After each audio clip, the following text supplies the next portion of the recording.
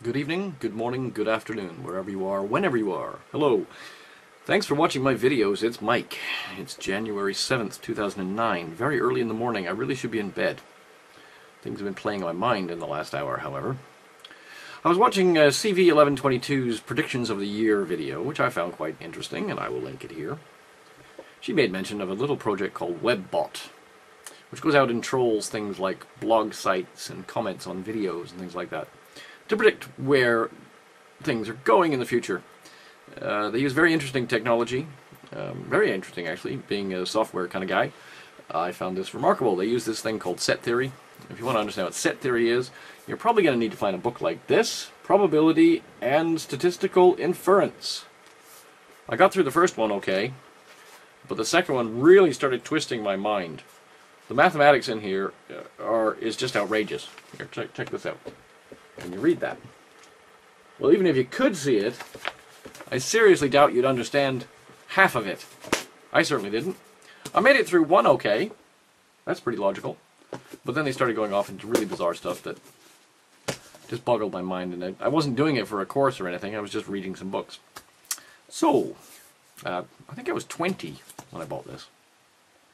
Shows how old I am. My word.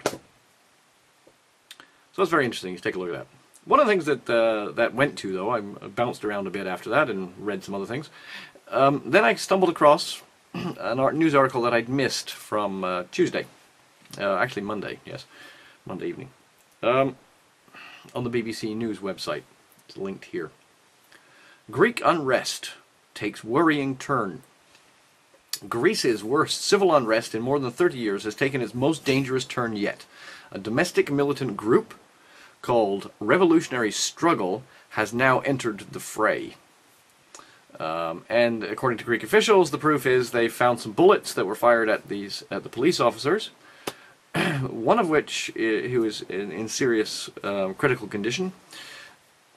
These bullets came from a weapon that was used in April of 2007 on a gun attack on a police station in Athens. Um, revolutionary struggle is described as a radical, radical leftist group in a recent U.S. State Department report on terrorism.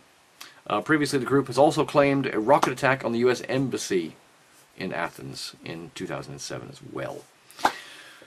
I told you things were going to get kind of crazy out there. Well, it's starting far sooner than anyone expected. Um, expect to see this in other countries where there is a wide gap, uh, as mentioned in another article, where there is a wide gap between the rich and the poor.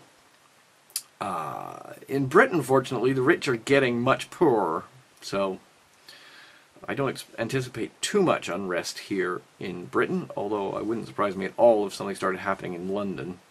However, uh, be very careful. There's one other thing about uh, Greece that's actually quite important.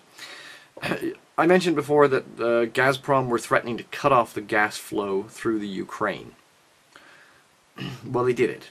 Okay, so for those of you in the States that weren't aware of this, uh, Putin basically came out and said, right, we're cutting the gas off 20%. Cut it off.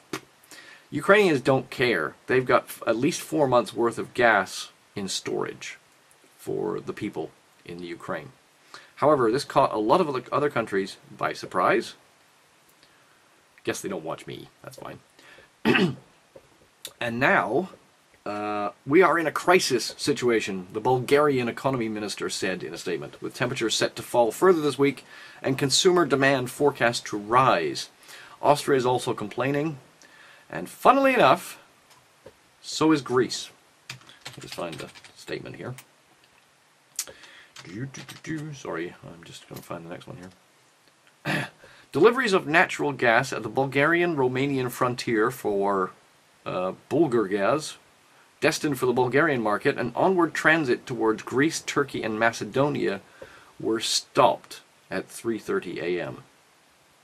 Basically, the gas isn't being isn't making it to Greece. Now, fortunately, Greece is only only uses a, approximately 20 30% of its uh, natural gas comes from Russia. But this will no doubt set off other things be safe, people. I know there. I, I I know I have viewers in Greece and in um, and I'll be forwarding this directly onto you. Please be careful if you're in a major city, um, or if you have to be near a major city or a populated area. Please, please be careful. Peace, everyone. Love, understanding.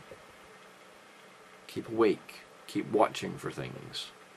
You'll be okay. Okay. Thanks. Bye.